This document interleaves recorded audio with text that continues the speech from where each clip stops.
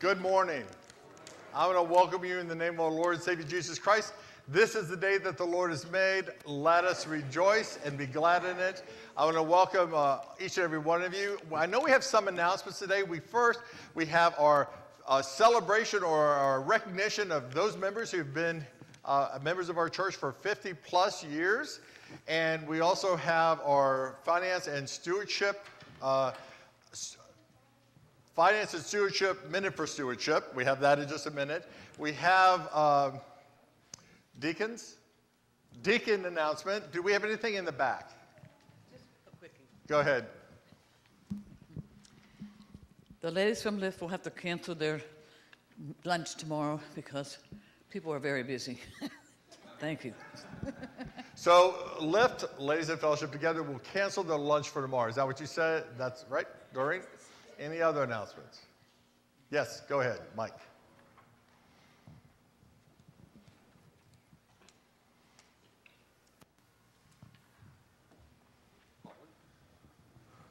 Good morning. Good morning. I have two announcements. The first one about the uh, calling all bakers. You'll notice in your bulletin uh, the cookie parade's December 2nd.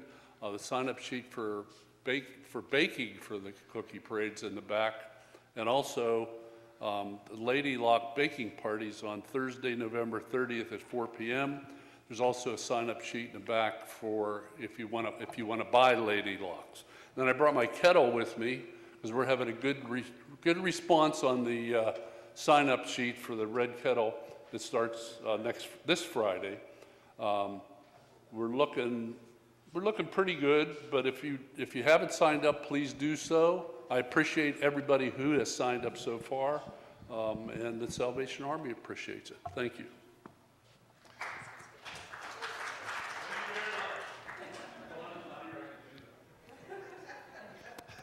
But she's on Zoom, so yeah, that's right.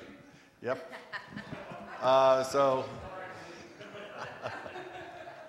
so, any any uh, any other announcements in the back? We got Mike. Any other announcements? We do want to say, and I think this is a wonderful thing to announce, is that uh, as we're concluding our project uh, Christmas uh, boxes, uh, we've collected almost 50, and then we'll have a prayer for them uh, today. So if you have your box, I know I saw people bring, bring boxes in. Please bring your box in, and then we'll make sure we're going to pray for them today. I'm going to ask the deacons to uh, come up and make their announcement.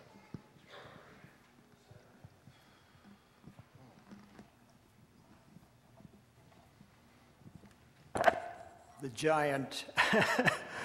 Good morning. Good morning. I have three announcements. I wear three hats today. First of all, the deacons would like to thank everyone who has contributed to this year's Angel Tree Project. We are going to make several children very happy and have brighter Christmas this year because of it. There are still two Sundays to donate, and the red envelopes are in the back next to the offering plates. So thank you very much for that. Now I'm wearing the reach out hat. Once again, we are doing the blessing, Advent blessing boxes this year. If you remember last year, we started this. There will be a person from the Reach Out Committee in the back to pass out slips of paper. We are asking you each week before Advent, and there's only five weeks till Christmas. Week one starts next week. You will get a slip of paper should you choose to participate with us. We are putting boxes together for needy families and individuals, members of the church, members of the community, and we're also helping out the daycare. This year, we have the deacons partnering with us. So again, reach out to those in need and make their Christmas and New Year a little happier. Thank you. Now I'm work, worship and music. If you look at the last page, we are starting to collect for memorial and honorary flowers, poinsettias for Christmas. They will be available Christmas Eve service. The cost is $8 this year. Please fill out your check and put Christmas flowers in the memo and list which color, how many, and what you honor or a loved one that you will memorialize with your poinsettias purchases for the Christmas season. Thank you. Well, I don't think, Don, you know, you have a fourth, a fourth hat. You're preaching today. No. Three hats.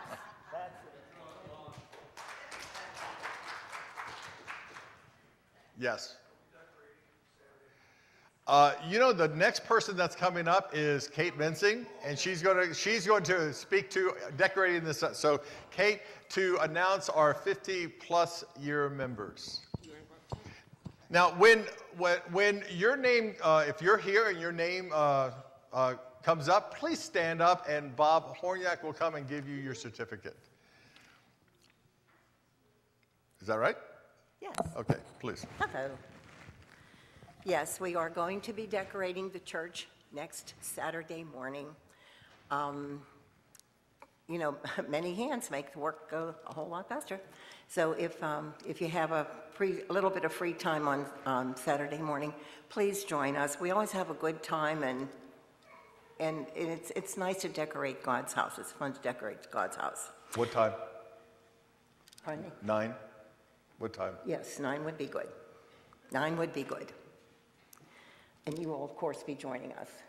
Nine would be good. Okay, so it's my sweet privilege this morning uh, to recognize people who have been um, members of this um, part of the body of Christ, part of our church family, for 50 years plus. God bless every one of you. Okay, so um, first and foremost this morning, we have Nancy Large. Oh, whenever, we- I'm sorry, whenever we call your name, I'm go- going to just ask you to stand where you are, and uh, Bob Horniak is going to bring you your, um, your certificate and/or pin, whatever is appropriate.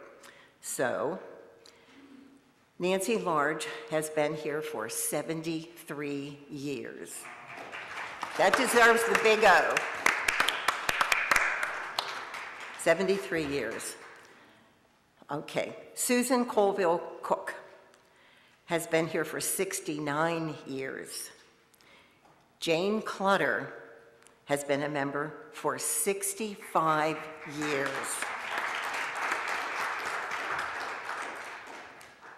Janet Fetterkill has been here for 64 years,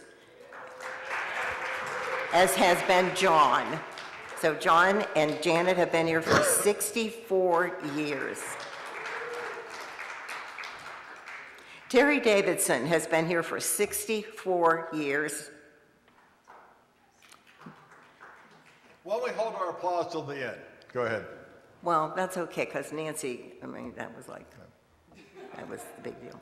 Okay, Dorothy Lee has been here for 64. Lynn Farson for 60. Virgie Hall has been here for 60.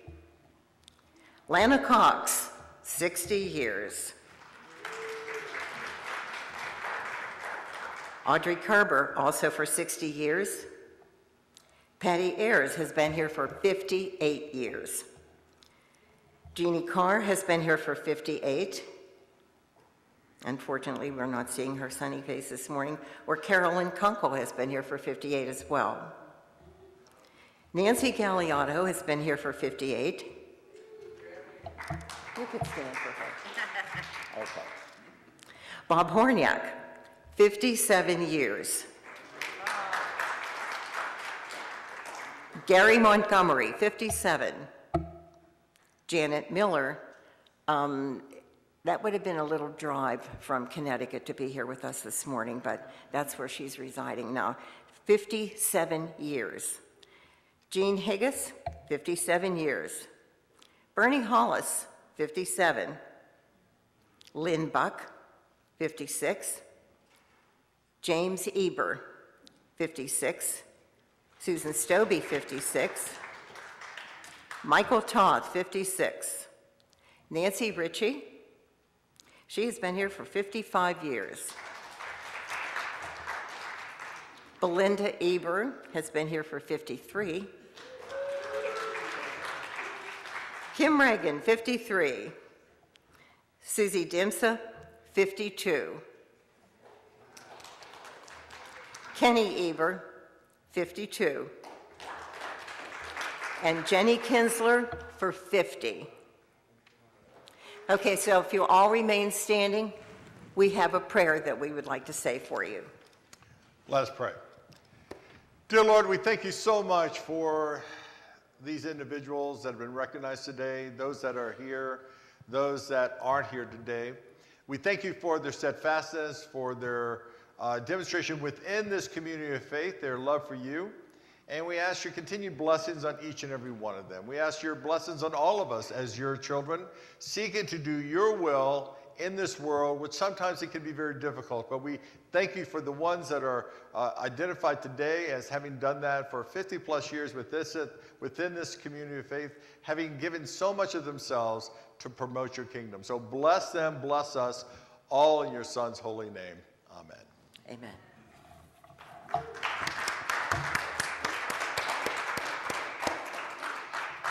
Now I'd like to invite uh, Adam Emil as chair of the Finance, uh, Finance and Stewardship Committee, as well as uh, Rich Mills, who is uh, the church treasurer, to come forward and offer their stewardship, uh, minute for stewardship.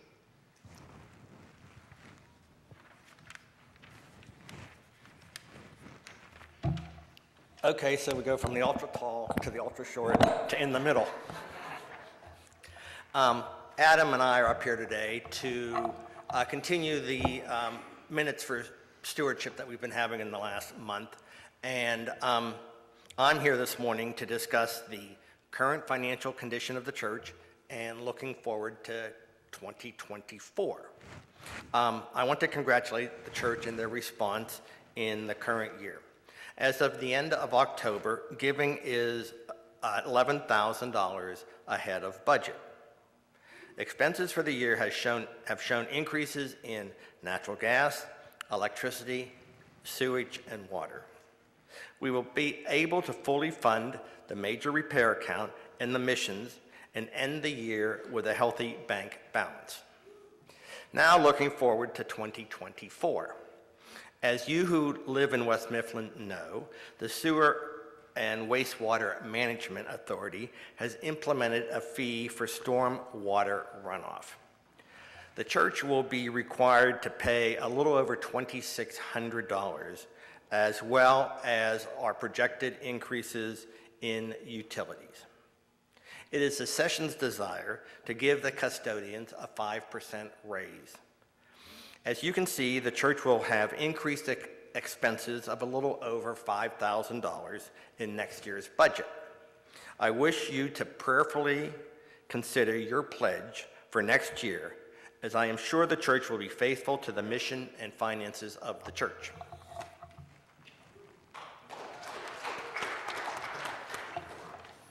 So first off, on behalf of the entire Finance and Stewardship Committee, thank you for your ongoing donations to this, this, this church. Obviously, if we did not have your, your support, it would be much more difficult to share the ministry of Jesus. Uh, one of the uh, expenses, or, or one of the areas we wanted to focus on, we discussed at one of our most recent meetings, was our per capita donations. Uh, if you're not familiar, um, per capita is the amount of money that Presbytery requests per church member to go to them for the supports that they provide to us. And in the last few years, they provided an, an immense amount of support services to us and really kind of opened our eyes to new ways that we can do some things. And as we are financially sound going into the next year, we wanted to, to look more into that and then solicit for your additional donations into this.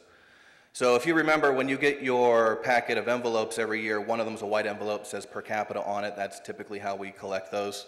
Uh, also, if you're interested, you can just take one of the white envelopes that are in your pews and, and write out uh, your per capita donation. Uh, but it's very similar in concept to how a state government will provide services to a local government. We pay taxes for it. The only difference is, is that Presbytery doesn't require us to pay this money. They just encourage it, which is really nice. Uh, per capita right now for our membership is $37.50 per, or, uh, per individual. So something to think about there if you wanted to donate.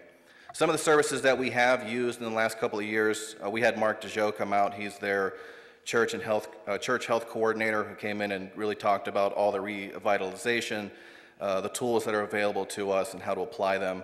He came out, or we, between calls and, and, and in-person meetings, we had at least 10 meetings with him and Pastor Bob to talk about how to revitalize, how to get into the three circles, which many of us participated in, I'll talk about in a second. Um, he came out and spoke to session in person again about the three circles, which, is about how to make everyday conversations into gospel stories and try to open people's eyes to, to what we support and what we believe and try to get them to more accept Jesus and, and come in and participate. Um, and then we had the Three Circles workshop, with workshop which many people, people participated in, and that was a half-day evolution uh, with uh, Sean Brubaker, who's also a pastor with the Presbytery of the Alleghenies, and provided so much dedication to, to what, what they did with us. And he still calls and asks how we're doing and kind of gives us guidance on that. Uh, in addition to that, obviously, the, uh, the annual General Assembly meetings where we come back and we see what other churches are doing and how we can improve. And we, that's actually where we got the Three Circles idea. Various members of session went to that and came back with it, and we implemented those. Uh, and then a handful of revitalization workshops that Presbytery put on through Zoom meetings for all the churches. Again, talking about revitalization and what we can do to help grow our church in the right way. Uh, so they have really supported us a lot in these last few years. Um, and now that we have the opportunity, we'd like to give back to them because, like I said, we're using their services, but right now we're not giving them that much. So we want to re- really be able to take what we can and give it back to them for the good work that they have supplied for us and for all the other churches as well. So, again, thank you on behalf of Finance and Stewardship for the ongoing support. And, uh, you know, please pray on that, how you can give, what you would like to give. And if so, if you have not already, the little white envelopes in your pew, just write out per capita on it and toss it in the back. It would be appreciated. Thank you.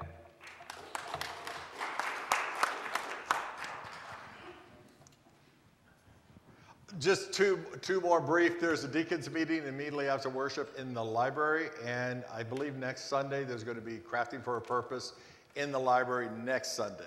Uh, Joyce isn't here with us today to uh, speak to that, but uh, she did mention that is going to happen next Sunday. Uh, seeing no, no other announcements, let us center ourselves on the worship of God.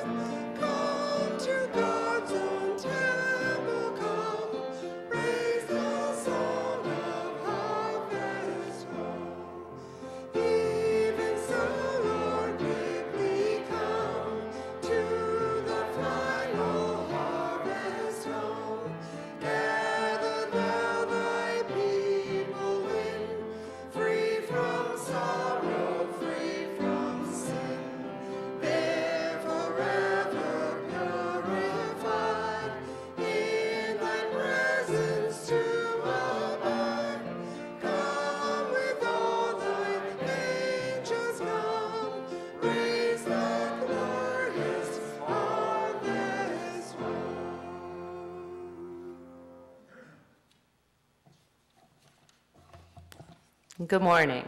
Good morning. Let us join together in our responsive call to worship.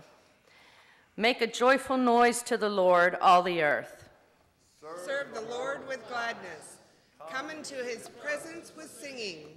Know that the Lord, he is God. It is he who made us, and we are his.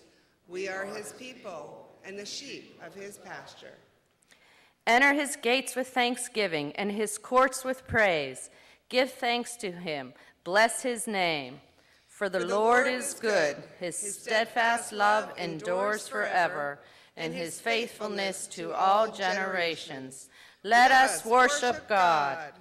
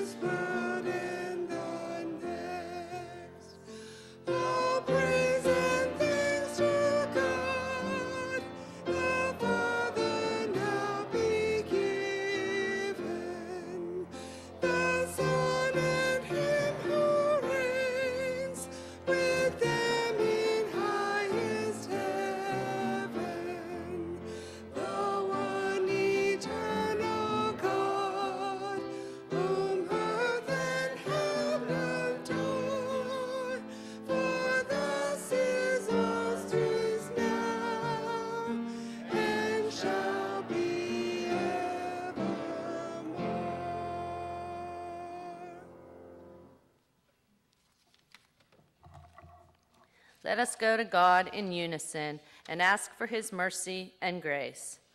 Al Shalom, God of peace. We rejoice in the knowledge that you have gifted us with all that is good and righteous within us, so that we can share them with offers and an offering to you. Forgive us, Lord, when we hoard our talents for our own profit or use them in profane ways. Enable us to submit to your spirit, to be generous with our abilities, as your Son used his to redeem us from the pit.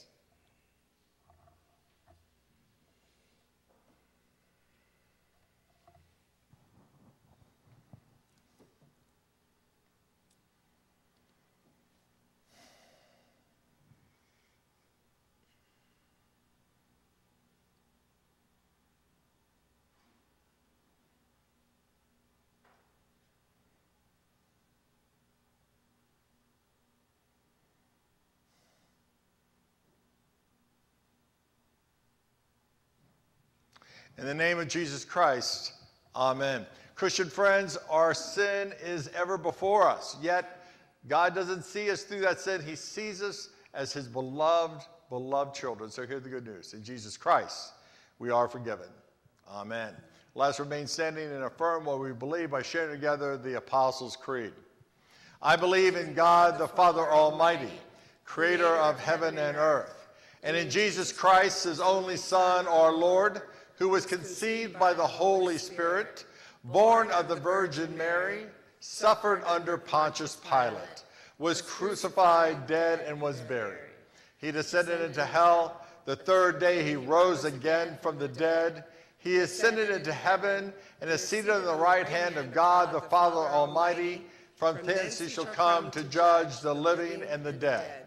I believe in the Holy Spirit, the holy Catholic Church the communion of saints, the resurrection of the Sins, sins, the resurrection of the body, and the life, life everlasting. Amen. We already said forgiveness of sins, so I thought we'd forget that. No, anyway, yeah, forgiveness of sins. Amen. Please be seated.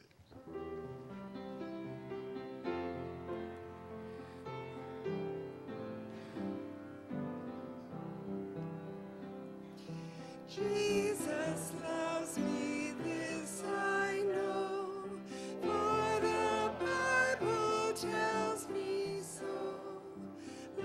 Little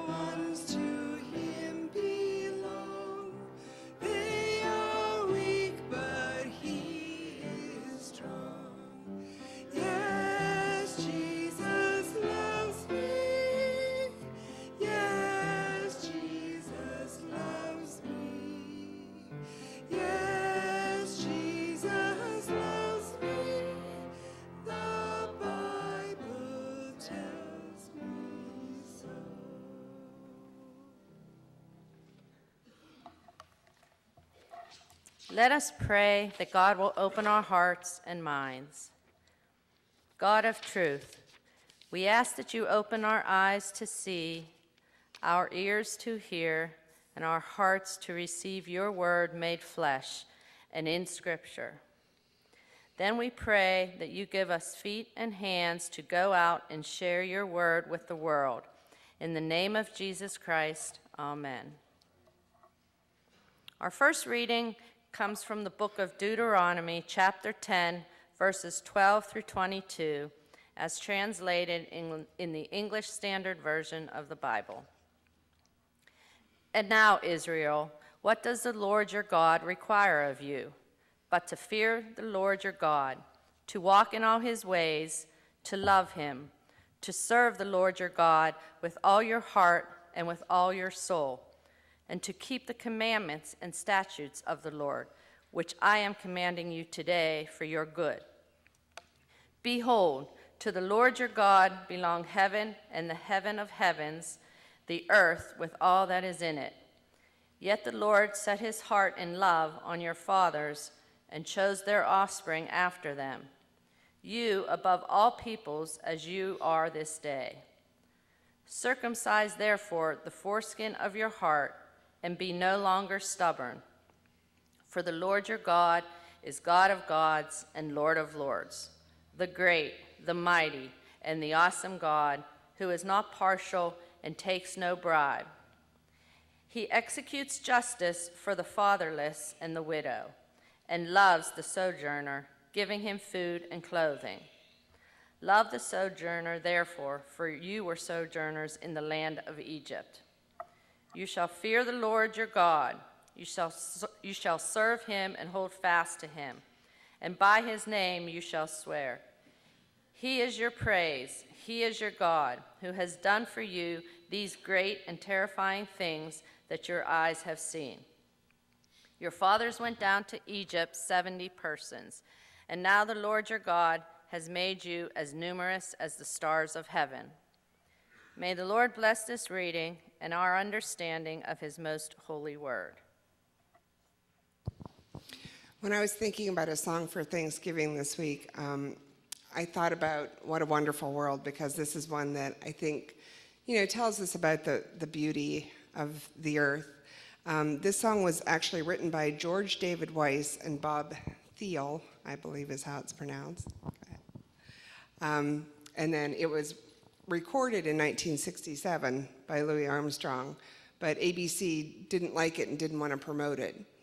Um, so it took off in London and um, then kind of got a, following after that.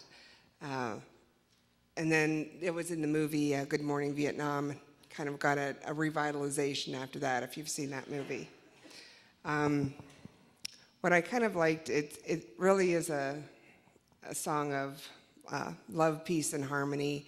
And I think it just kind of reminds us of, um, you know, just how much we have to be thankful for.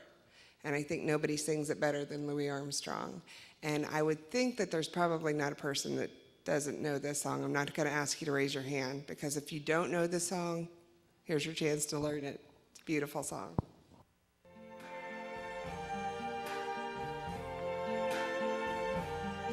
I see trees of green, red roses too. I see them bloom for me and you. And I think to myself,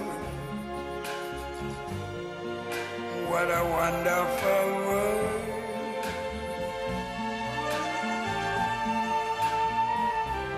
I see skies of blue clouds of white, the bright, blessed day, the dark, sacred night.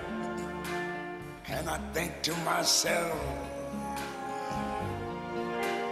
what a wonderful world.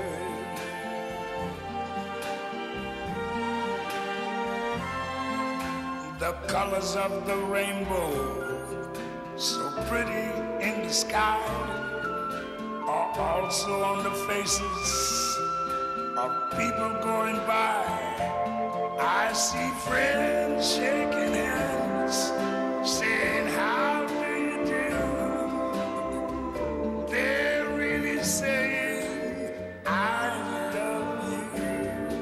I hear babies cry. I watch them grow. They'll learn much more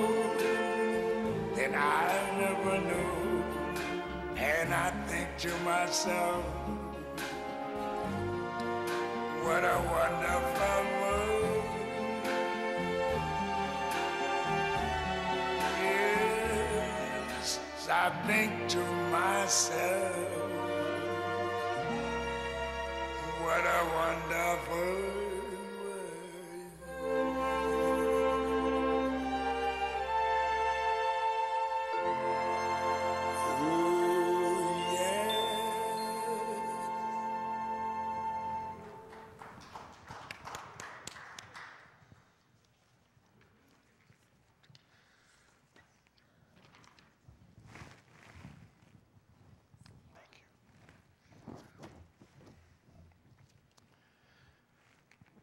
Our scripture today in the Gospel of Mark focuses on the death of John the Baptist. And you might ask, how is this a stewardship sermon? Because I remember I told you last week there's a, a three series stewardship sermons. So we'll get into that, but it does apply. So let's hear what, let's hear what the Gospel of Mark says. King Herod heard of it. The disciples casting out demons as they've gone two by two. Uh, has heard of it, for Jesus' name had become known. Some said John the Baptist had been raised from the dead. That is why these miraculous powers are at work in him. But others say, said he is Elijah, and others said he is a prophet like, like, a, like one of the prophets of old. But when Herod heard of it, he said, John, whom I beheaded, has been raised. For it was Herod who had sent and seized John and bound him in prison for the sake of Herodias, his brother Philip's wife, because he had married her. For John had been saying to Herod, It is not lawful for you to have your brother's wife. And Herodias had a grudge against him and wanted to put him to death. But she could not, for Herod feared John, knowing that he was a righteous and holy man, and he kept him safe. When he heard him, he was greatly perplexed, and yet he heard him gladly. But an opportunity came when Herod, on his birthday, gave a banquet for his nobles and military commanders and the leading men of Galilee. For when Herodias' daughter came in and danced, she pleased Herod and his guests, and the king said to the girl, Ask me for whatever you wish, and I will give it to you. And he vowed to her, Whatever you ask me, I will give you up to half of my kingdom. And she went out and said to her mother, For what should I ask? And Herodias said, said, The head of John the Baptist. And she came in immediately with haste to the king and asked, saying, I want you to give me at once the head of John the Baptist on a platter. And the king was exceedingly sorry, but because of his oath and his guests, he did not want to break his word to her. And immediately the king sent an execution, executioner with orders to bring John's head. He went and beheaded him in the and brought his head on a platter and gave it to the girl, and the girl gave it to her mother. When his disciples heard of it, they came and took his body and laid it in a tomb. This is the word of the Lord. Thanks be to God.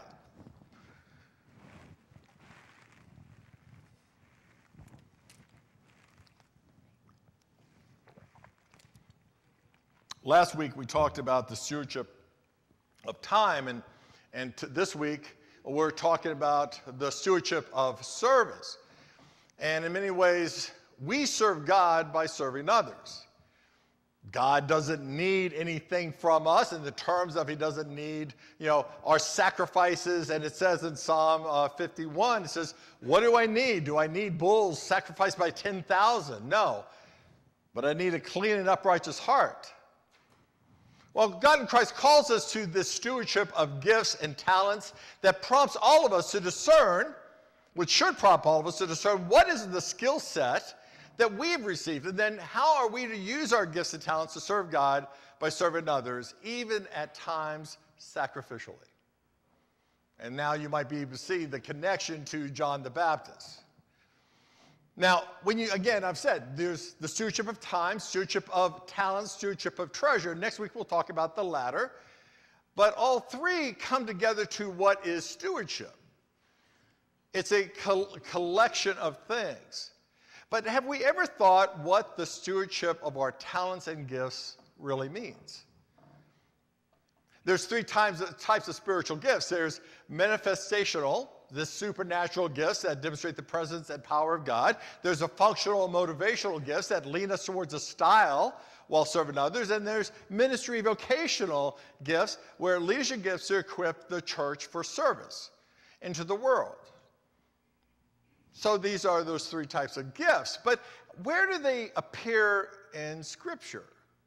Well, actually, there's four places in Romans 12, 1 Corinthians 12, uh, Ephesians 4, and 1 Peter. Now, if you see this list, the, uh, the Romans 12, which is the first book that we look at, they have encouragement, giving, leadership, mercy, prophecy, uh, service, and teaching. Then you go to 1 Corinthians 12, there's a bigger list, and you can see there's some repeats.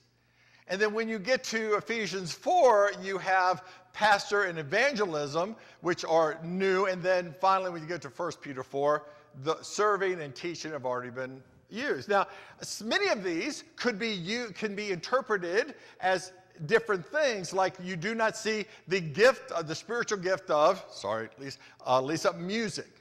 But where would music be? It would be in uh, service, it would be in teaching, it would be in encouragement. The- A very vital part of what we do in worship is to lift up uh, our congregation to God's presence through music. So that's an incredible gift to be used. But there are many other gifts, there's a variety of gifts.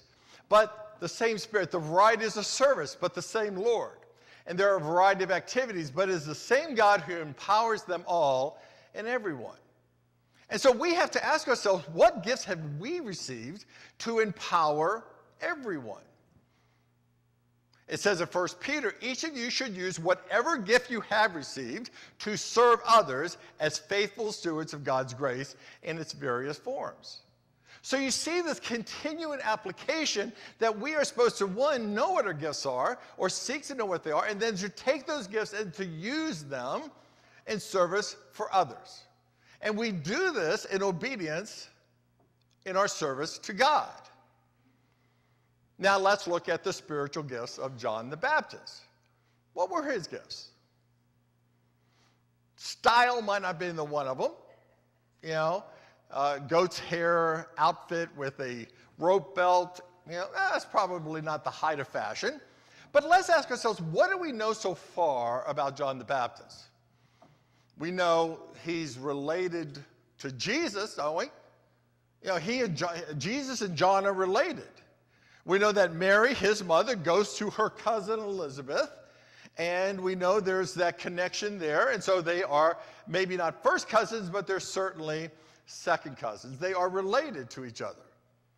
I showed a picture uh, a, a, few Sundays ago where uh, Jesus is in the workshop with uh, his entire family, and there's John the Baptist wearing his goatskin, uh, sort of like loincloth, bringing a bowl of water, baptizing, you know, uh, to Jesus because he hurt his hand.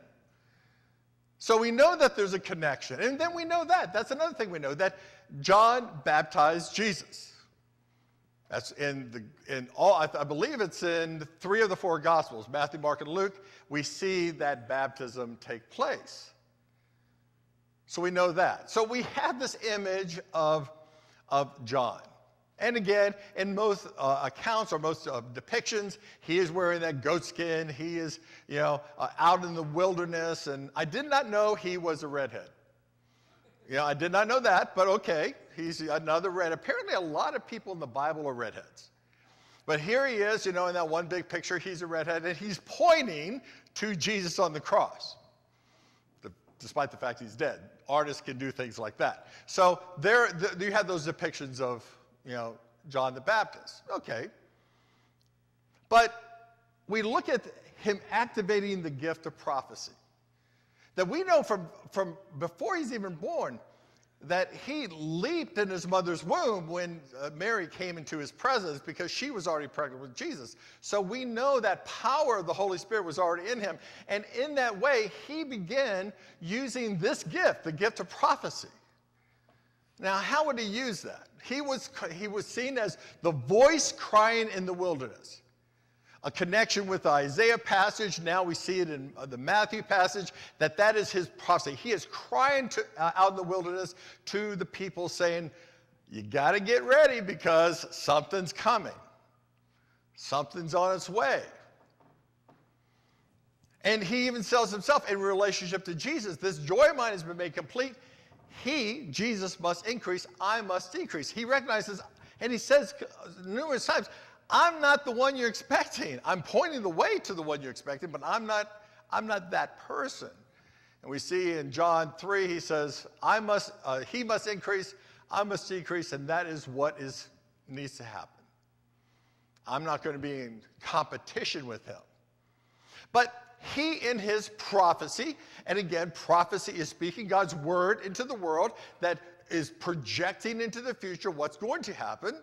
He says, as he's, people are coming to him to be baptized for the remission of sins, he says to the crowds, Come now to be baptized, you brood of vipers, who warned you to flee from the coming wrath? Now, I don't know if this is the pastoral style we should use when people ask to be baptized. You know, but uh, apparently, John, remember, John is baptizing with water for almost a literal cleansing of sin cleansing of dirt, cleansing of sin. But as soon as they get out of the water and they, they stub their toe on a stone and they go, they're, they're dirty again, they're sinned again. What he does in the water does not last beyond the next time they sin. That's why baptism in the Spirit is so much different than baptism by what John was doing. He would also say, in those days, John the Baptist came preaching in the wilderness of Judah, repent, for the kingdom of heaven is at hand. If I saw someone looking like that, pointing at me, with those eyes staring into my very soul, I might say, yeah, maybe I should repent because that's weirding me out. So we know John did that. He was very, you brood of vipers, repent for the kingdom of heaven is at hand. He was a pretty straightforward type of person. He also said, The axe lays ready at the root of the tree, and every tree that does not produce good fruit will be cut down and thrown into the fire. So he's telling the people to come, says, You know, do what you do, but just recognize the guy with the axe is coming by. I'm not that guy, but he's coming. So that's John. But I love this expression from Louisiana, who dat? Who else is involved in our story today? Well, we got Herod. You know, he is the king of a section of what we know is pretty much Judah, that area, or Galilee, I'm sorry, that area. And then we got his wife, Herodias. Why they keep the name so close, I don't know. But you got Herod and you got Herodias. Okay, that's all. But then you got this other person, and she's not identified by name in the Gospel of Mark, but she is identified by name in Matthew and I believe Luke, of Salome. She is Herodias' daughter. Not by Herod, but by someone else. And we'll see in a minute who she's, but so she is, what do we know about her? She's a dancer. Okay, that's great. But that's another person in the story. And I know it's too, uh, too small for you to see, but this is the lineage. And we see you had this guy named Herod the Great. And he's, he marries not once, and not twice, but five times. And he has kids from all of his wives. And we have this guy named Herod Philip the First. And then he marries Herodias. Okay, and they have a kid named Salome. But, and, and you might notice if you can't see it, that Herodias is Herod Philip's niece. Okay, put a pin in that. But then he, she leaves him and marries Herod, uh, uh, I think that's Herod Antipas. Now, Herod Philip I is not a king, but Herod Antipas is, so he marries, she marries him, and now you have this really nice family group. You have Herod, king, his wife Herodias, and her daughter Salome. Now, does that sound a little weird, a little strange? Anyone? It's not here to make judgments, but that even today would be you marry your niece? That'd be kind of strange. Okay, what else happens? What else is related to that? Well, that is what John is saying. Wait a minute. There's, some, there's a bunch of problems here. Can we go to the next slide? Yeah. Well, you've got to understand who Herod is. Herod's not Herod the Great. Herod the Great was Herod Antipas' dad. And it's kind of interesting that he's alive because out of, uh, out of all the sons Herod had, he, out of the six sons Herod had, he killed three of them. In fact, Augustus Caesar says better be a Herod's pig than Herod's son. Because if he feared that his son was, one of his sons was going to try to overthrow him, he just killed him. So three out of the three out of the six sons were killed by Herod, Herod the Great.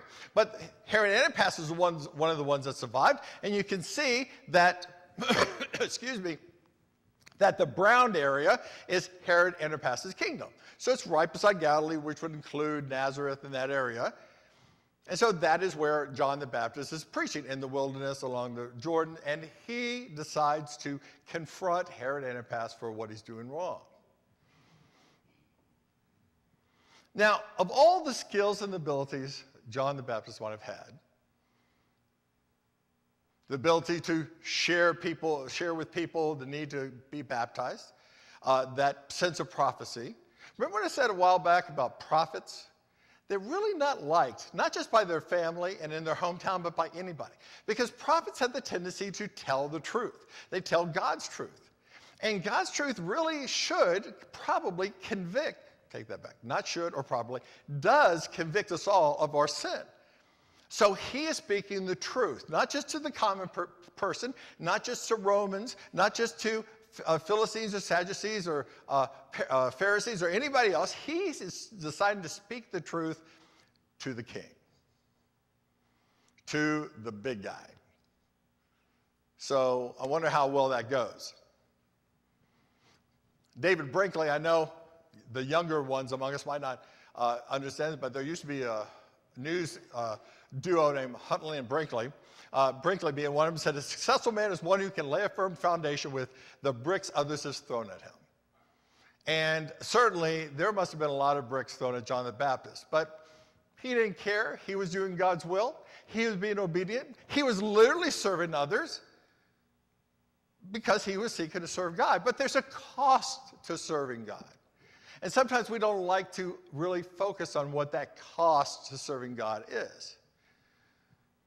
So, John the Baptist sees what's going on with Herod and, and Herodias and says, Whoa, this is wrong.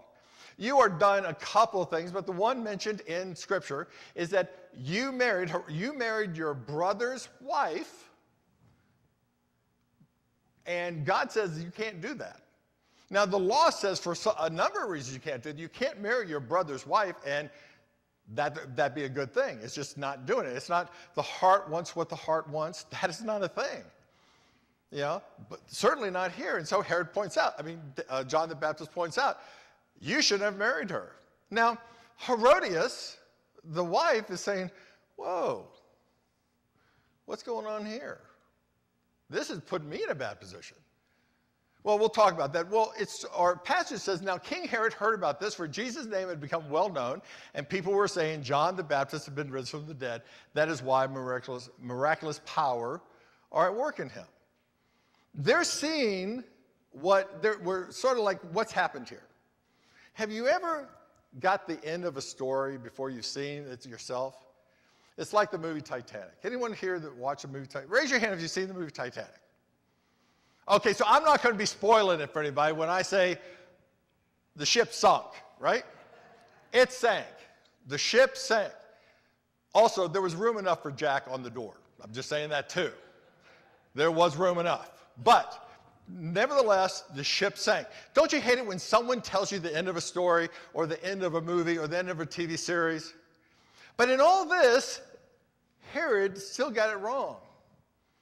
They were thinking something, one thing happened, but actually something else happened. And they tell the story. So he says, For when Herod himself had uh, sent and laid hold of John and bound him in prison for the sake of Herodias, his brother's wife, uh, he had married her. For John had said to Herod, It's not lawful for you to have your brother's wife. One, your brother was still alive. Two, therefore, they were still married. Therefore, they were committing adultery. All bad things. Still doesn't seem to mention the fact that uh, Herod married his niece. Not a good thing. In our, even our society, that's still consent is kind of not good. But so John's in prison, and Herodias isn't happy. Because, as I said earlier, in that time, her position was established by her husband. She was the queen. If Herod decided, you know, John, you're right, I'm going to put aside my wife, what would happen to her? I'm sure that was in her mind. But at the same time, she had a grudge against John, and she wasn't letting that go. So, this whole thing is not a Jerry Springer show. Do you young people know who Jerry Springer is? Okay, okay. I'm, Haley and Jack are going, oh my gosh, old people. They're telling me all these references. Don't know who that is. Do you know who Jerry Springer is? Okay, that's fine. He was a guy, he was mayor of Cincinnati. There you have it. He was actually the mayor of Cincinnati uh, before his show. So he would have this show with a bunch of uh, odd situations that seemed a little strange to hear, but true. So that's who he was. But that's not then. That was now. But back then, this stuff should not have happened. But kings are kings. And Herodias did not like what John was saying, so held a grudge against him and wanted to put him to death, but couldn't do it because Herod was afraid of John, knowing that he was a righteous and holy man, and he kept him safe. And when he heard him, he was very perplexed, but he enjoyed hearing, listening to him. It's like wanting to hear the truth, but repelled by the truth because the truth is telling you you're doing wrong. It's almost this thing that Herod was going like, yeah, I don't want to really hear it because it confuses me, but I do want to hear it because I'm hearing truth. And in our society where we are today, we don't speak truth a lot. We've lifted up a lie in many things and call it good. I was going to put a picture of almond milk here. I think it all began with almond milk. You know, I think almond milk decided one day, this white liquid said, I'm going to self identify as milk. And no one said, Whoa, you're not milk, you're white water. But now we have almond milk, and we have a lot of other things like that. But here, that grudge that Herodias was having was like poison to her, though she wanted John to die. And being queen, she had the ability to engineer a plan. You know, everyone has a backstory. Herodias had a backstory. John the Baptist had a backstory. Everyone in this room has a backstory. But ultimately, when you do wrong, it's still on you, not your backstory. Because you need to reflect on what my backstory is and how I need to correct it and move forward in a positive way. I don't think Herodias did that. So on Herod's birthday, her opportunity arose. Herod held a banquet for his nobles and military commanders and to lead him into Galilee. This wasn't ice cream and cake, or even an ice cream cake with balloons. This was a party. And in the midst of the party, said, Hey, why don't I have my daughter, daughter, stepdaughter, daughter of Herodias, come in and dance? And she pleased Herod and his dinner guests. And the king said to the girl, Ask me for anything you want, and I'll give it to you. Okay. This wasn't a school recital. This was a very seductive dance, and it was kind of cringy, kind of awkward. And I don't know, I didn't look at the 28 things that everyone experiences, but anyway, I just looked at the fact that it's cringy and awkward. And it says in Matthew and Luke that it's even worse, that he was almost lusting after her. And because of that, he was saying, Yeah, anything you want, up to half of my kingdom. So the girl finished, Salome finished, ran uh, with the request, ran uh, to a mom. What do you want? The mom said, I got a plan.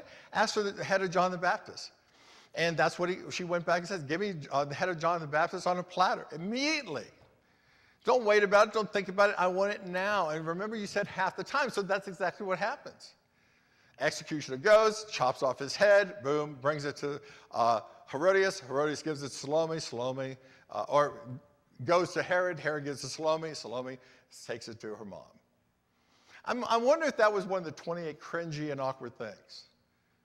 This is certainly not the plan that Herod himself had. It might have been the plan Herodias had. It might have, Salome didn't, might not even know what was going on. But this is what happened.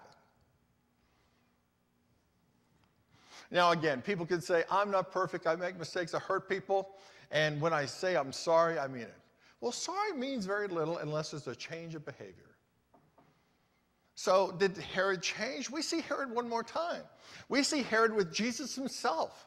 And he, there he is saying, Show me. Put on a show. We don't see Herod change at all. He's really not sorry.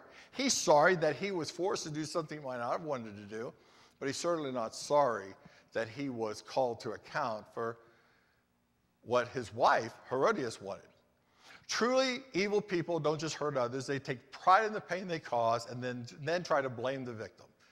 You know, stop making me hurt you. It's really your fault. If anyone ever tells you, stop making me do something, stop making me hurt you, insult you, verbally abuse you, whatever, it ain't you, it's them. Because we know if God is for you, it doesn't matter who's against you. And John knew that. He said, I'm going to tell, do, use the gift I have in service to God by serving others. And you know, I'm telling Herod that something that's going to help him. He needs to disconnect from this relationship because he is hurting himself, hurting his people, not doing what he should be doing. He was actually trying to help Herod. Herod didn't get it. But John says, I'm still going to do what I'm called to do. I'm going to use my gift the way I've been called to use my gift. And we have to applaud him for that. Now, we know John was considered an incredible person. As Jesus himself says, Truly I tell you, among those born of women, there have risen no one greater than John the Baptist. Wow. But even the least in the kingdom of heaven is greater than he is. He is doing what God has called him to do. When we do, when we use the gifts God has given us, we get nothing special for it. It's not like, hey, let's give you a show, let's give you all praise and honor. No, you're doing what God's called you to do with the gifts you've received. And that's what John did. He expected nothing and he received death. He used his gift sacrificially to help Herod, even though, again, Herod did not get it. As we are called to use our gifts sacrificially, even if the people that we are trying to offer those gifts to don't get it. And it is that way we serve God on earth by serving others. And that is an incredible mindset we need to have among ourselves, and not just in the season of stewardship, but at all times. We have, every one of us, a gift to be used. Some in generosity, some in encouragement, some in preaching, teaching, uh, prophecy. We have all sorts of gifts. And there is a school of thought that every church, every community of faith has all the gifts it needs to do what God's called it to do. And I ascribe to that school of thought. But the question is are we all using the gifts that God has given us as a community of faith? Now, God will let you walk in uncomfortable situations where all you can do is rely on Him, but don't be anxious. He's about to show you He is faithful. John walking into the front of Herod going, Oh, yeah, you're messing up. Must have been a little strange for him. It must have been a little awkward, even in the boldness he showed. But he did it because he trusted in the Lord.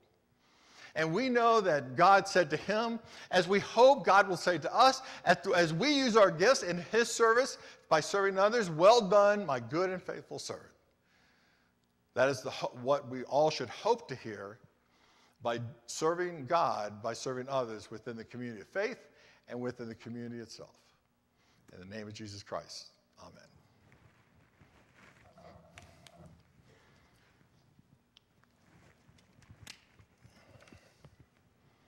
Let us pray.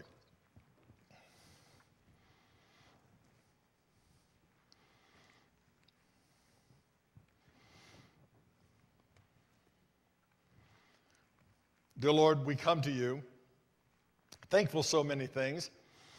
We thank you for our country, but ask you to be with us in our political divide, be with our military and our, our, our law enforcement, give us security, but at the same time, heal and calm the political divide that seems to just continue to escalate. Lord, we, there are those among us who have prayers that we don't want to speak out loud, that we are occasioned with depression, anxiety, difficult life decisions, private hurt and pain. Be with us. Give us hope and assurance that you have everything covered. Lord, be with Jackie Kanak as she continues to recover from cancer, with Kinsley as she uh, continues to deal with her vomiting issue. Be with the Benders, Amy, uh, uh, their niece who has this long continuing recovery, Lily and their friend who has these leg sores that again are healing. We ask your continued blessings on Amy Hines as she's undergoing health issues. Be with Marcy, Sherry Starnes' friend. Lord, be with Tommy and Be- uh, Debbie Beckovac. Be with the Wonka family. Uh, Andy Wonka's friend, Big Don, his other friend, Buff. Uh, Big Don needs a, a, a, kidney transplant. Their friend, Mike, who uh, Mike Osovic, he has heart issues, and the Caldwell family, who has uh, dealing with family dynamics. Continue to be with the Costa family. Uh, be with uh, Jane, uh, Jan Roach, uh, Debbie uh, Eber's sister. Lord, be with Bob Hawk's family. Be with John uh, whose transplant on October 17th went well. He's recovering. her his friend Carrie McCain, who needs a a hip transplant or a hip replacement, I'm sorry. Bob himself, as he's recovering from his own hip uh, surgery. We're so glad that he's here. Be with uh, Donna as she's resting at home, with Mike Beck, who has ongoing life struggles, with Tony, who hopefully will return uh, back to teaching uh, this uh, winter so Belinda can have a, a long earned rest. Be with uh, Bob Shetner, Rich Mills' brother in law, who is continuing not to do well and is cl- Westminster classmate Rocky Macero, whose bone cancer has spread. We ask your continued presence to be with Pat and Roger Nichols. Roger had a mini stroke. He's doing all right, but he is, you know, struggling with his health. Be with uh, Bernie Hollis. Lord, be with uh, Adeline McGuire as she continues to go on, but be with the Tashwar family and the McGuire family as uh, they know that uh, she is struggling as well. We uh, ask your continued presence with Jordan, uh, who's having chemo, Pam Mervis's uh, friend's daughter, with Dick Snyder, with Robert Montgomery, uh, uh, Pearl Montgomery's brother-in-law, who's heart and leukemia issues. Be with uh, Terry Nicholson and uh, her family. His, her father, Steve, fell, and she's going up there later on today. Be with their brother, her brother, Mark, as he's supporting, went up there and took him to the emergency room. Be with the Petruzzi family. Uh, Lord, we ask you to be with Evelyn uh, Joan, this premature little newborn with lung issues. We ask you to be with uh, Janet uh, Federcal uh, as she's continued pain from her fall, and uh, her brother's daughter, Dana uh, Little, who passed away after 50 years, I mean, just at, at 50 years old. We thank you for be with the little family, the Wogan family, the, the entire family as they mourn her passing. And again, we ask you to continue presence with uh, Leslie Holloman, her sister Lisa, recovering from cancer, and her father Bill. Be with Justina uh, uh, Shrell, uh, and their two sons as they have gotten over cancer, or uh, not cancer, COVID. We thank you.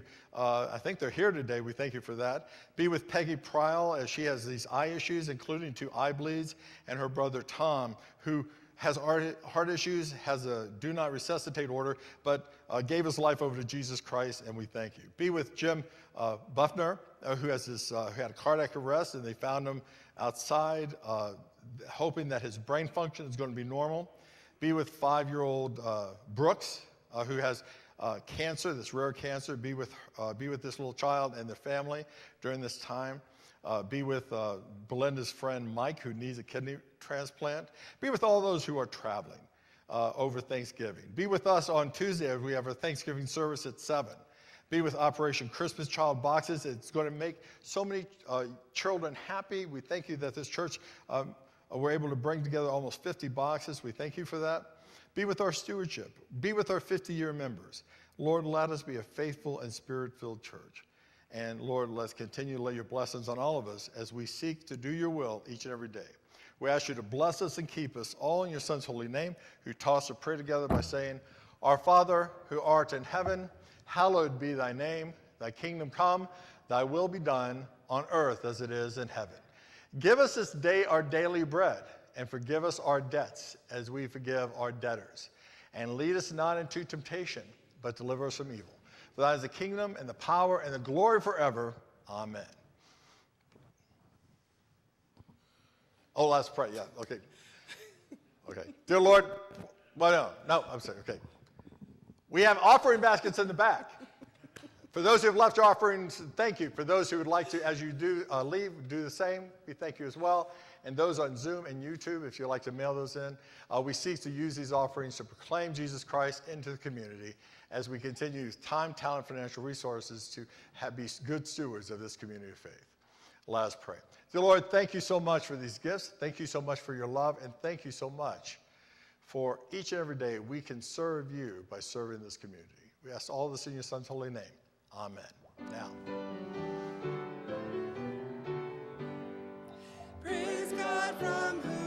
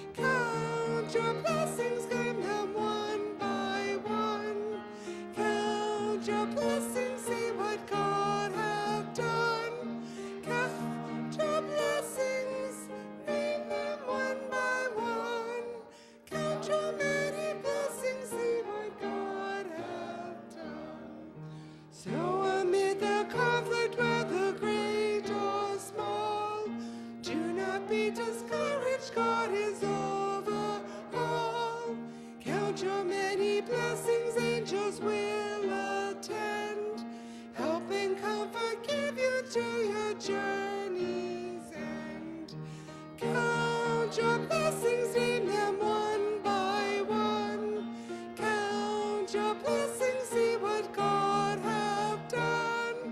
Count your blessings, name them one by one.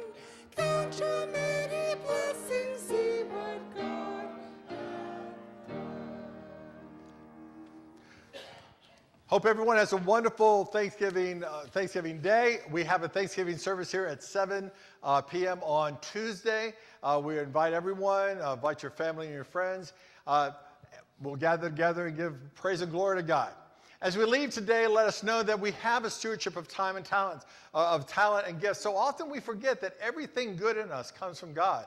Everything that we do that's positive comes from God. To what degree are we using the gifts and the talents that God has given us to his service by serving others? That's what John did. That is what Jesus himself did by giving himself up for each one of us. Let us in the same way use our gifts and our talents to proclaim the word, proclaim to the world who we are by showing love to each other and to those in our community. Now, may the grace of our Lord Jesus Christ, the love of God, and the companionship of God's Holy Spirit be upon each and every one of us now and always. Amen.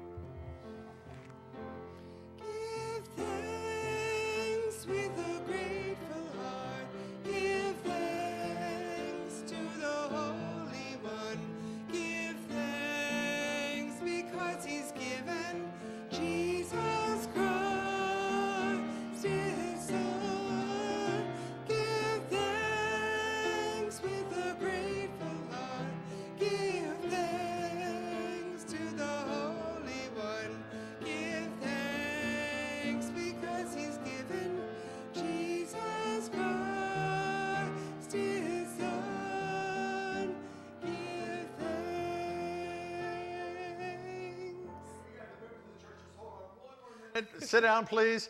I forgot the congregational meeting. Guess what? We're having a congregational meeting to elect a new elder. Surprise.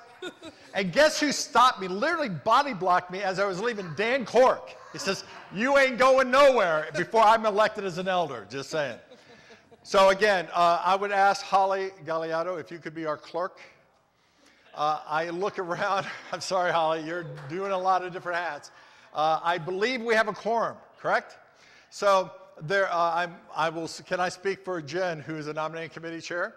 Okay, uh, we have, the nominating committee came and uh, sought to replace, uh, hard to, but replace Tom Fox for the rest of his term as an elder. And so we invite, uh, so that nominee is Dan Cork. So Dan, can you please stand up, everyone can see you? Let's give him a round of applause. You can sit down again. But the, the, we're called to is there any nominations from the floor? The first order of business is there nominations? Open the floor to nominations. Okay, is there a second to that? Uh, Don, uh, uh, Mike, thank you. Uh, all those in favor of closing nominations say aye. Opposed? Great. Now, as uh, we go on to the slate, uh, it comes from committee, does not need a second. So, all those in favor of Dan Cork fulfilling uh, Tom Fox's uh, unexpired rest of his term, say aye. aye. All opposed? Nope. So, ayes have it. Let's pray. Dear Lord, thank you so much for Dan's agreement to serve, for the congregation's affirmation of his service uh, that he's demonstrated so well in his uh, time on session already. So bless him, bless us. And again, we thank you for his using his skills to serve this congregation, knowing that he is serving you. We thank you and love you in your son's holy name. Amen.